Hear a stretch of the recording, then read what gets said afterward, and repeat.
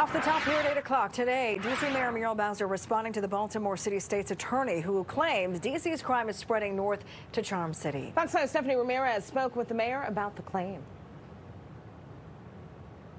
This all comes after we learned that the two suspects in the uh, Morgan State mass shooting that they are DC teens. Now there's currently a 17-year-old from the district in custody. Baltimore police have a warrant out still searching for the second suspect identified as an 18-year-old. This is Javon Williams of Northeast DC. This is the same person federally indicted over the summer after DC and federal investigators announced the arrest of multiple people in connection with alleged Kennedy Street crew criminal activity including gun and drug trafficking. Baltimore's state's attorney said Friday, quote, in the past, D.C. would worry that Baltimore crime would somehow make its way down there, but now it appears D.C. crime has actually come to Baltimore.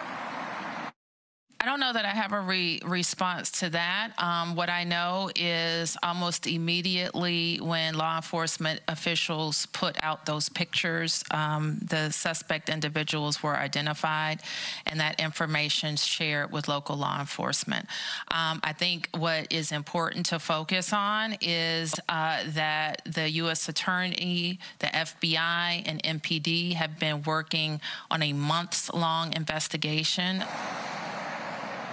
And police confirmed for us today that at 15 years old, Williams was previously reported missing in the district. The deputy mayor for public safety's office will not tell us whether the city had any contact with him as a juvenile, but claimed that they do perform some kind of post-investigation when D.C. youth are involved in serious crimes. We also confirmed Williams was arrested back in January in connection with the federal indictment after a district court search warrant was carried out. He and several other suspects were picked up in a northeast D.C. home with multiple guns and ammunition inside. He was released after that arrest. The U.S. Attorney's Office tells us Williams was federally indicted in June, so about five months later, after they were able to develop sufficient evidence to link him to a firearm recovered in the home that past January, and he has also been wanted ever since that indictment. Uh, we asked the mayor as well about the Republican-led Judiciary Committee hearing that happened on D.C. crime last week. The mayor telling us some four days later she still hadn't heard it, so respectfully, we asked why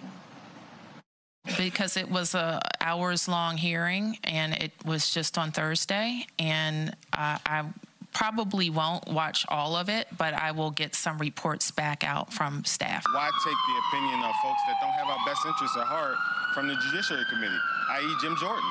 You know what I mean? So I think it's politics at play. That she, the reason why she didn't um, pay attention to it and her staff didn't brief her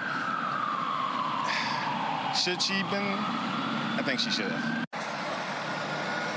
That was just one of a few different answers we got on the topic. The mayor also told us today her office is working on some changes to address issues that her office says they have with some of the police reform legislation that has passed. Guys.